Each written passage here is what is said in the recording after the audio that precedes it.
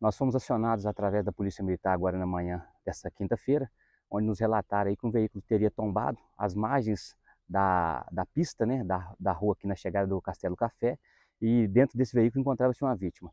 É, ao chegar no local, nós fizemos a apuração do local e constatamos que essa vítima já encontrava-se em óbito, presa é, sob o veículo. Esse veículo é, veio a tombar e ficar em cima dessa vítima. É, nós fizemos todos os procedimentos de segurança aqui, conseguimos fazer a retirada da vítima e essa mesma já foi entregue ao serviço funerário.